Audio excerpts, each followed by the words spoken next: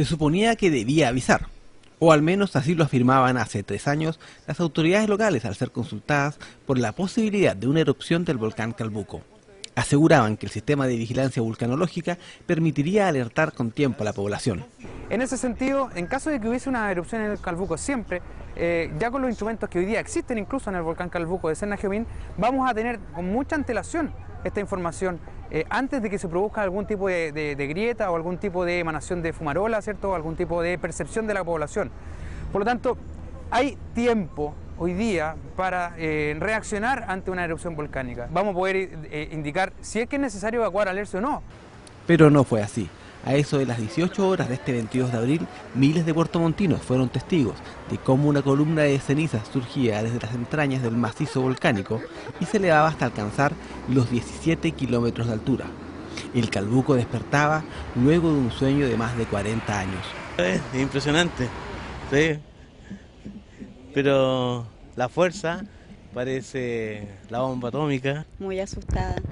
Sí, vivo en Coihuín y no sé ninguna noticia, no sé nada, si salí afuera y vi esto recién. Andaba en el centro y me iba en la micro y me tuve que bajar ahí cuando vi esto. No tenía idea que, que había pasado esto, yo estaba en el mall y salí, dije la nube que fea y me dijo una señora si reventó el volcán, señora. Se sorprende uno porque es primera vez que uno ve algo así.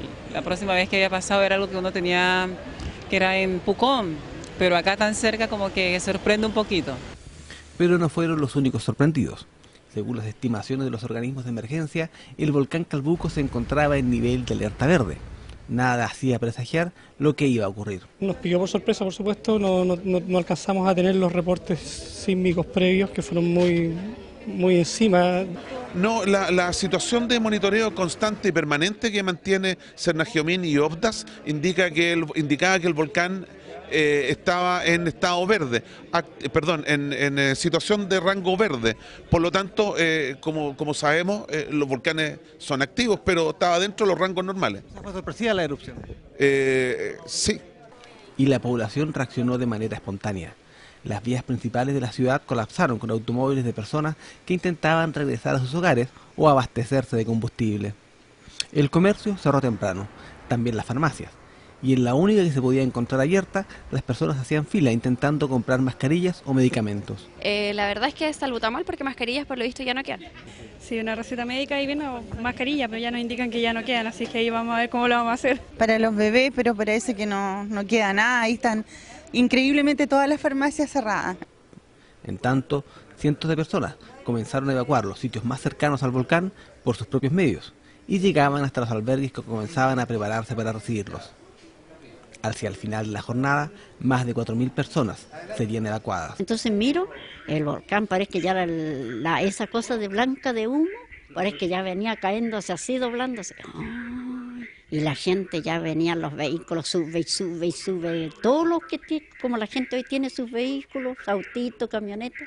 Y vamos, vamos, vamos, vamos, vamos. Cuando yo le iba a poner leña al fuego, de repente veo como un humo así. Yo que le digo a mi hija, hija, te explotó el volcán.